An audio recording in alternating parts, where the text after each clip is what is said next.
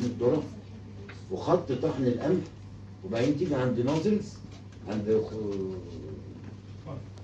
إيه آه يحصل خلط بنسبه آه، مثلا نفترض 10% والدقيق يطلع إيه؟ دقيق قمح مع الذره.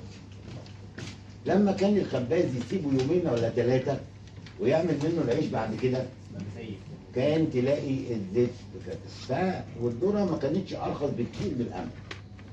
دايما الذرة والقمح إيه؟ متقاربين فعرضت على الحكومة اياميها وكده ليس هناك أول مرحلة عملتها معلش بطول في دي عشان بس نرجع للتاني. أول مرحلة أنا قلت طب هفصل دقيق الذرة عن دقيق إيه؟ القمح. كان الخباز ياخد دقيق الذرة ويتصرف بيه بره ويعمل قمح. قال له طب وهطحن أنا الذره عشان الدقيق عشان هو ما يشتغلوش كنت عشان ما- الدقيق ما يزنخش ما كنت قلت ما مش هنخلطه هنعبي ده سكاره لوحده. وده سكاره وده حشناه. مش ده بقوله يعني جديد.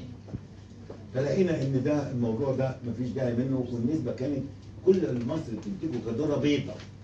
ذره العويجه البيضه كنا بننتج ساعتها 400000 طن. 400000 طن دول يمثلوا 5% من استهلاك مصر من القمح أقل من 5% وأنا بنستهلك العيش ال- ال- المدعم حوالي 9 مليون طن في السنة نجد ال 400000 طن 400000 يمثلوا أقل من 5% فإذا قلنا مش محت... مش جايبة. تك- توفير في تكلفة وكده. دخلنا في تجربة إضافة الشعير. الشعير ممتاز.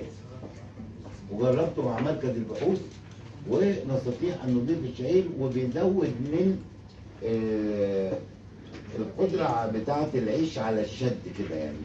آه، عكس الذره مش يفرول لا بالعكس تلاقي اللقمة تقطعها كويس.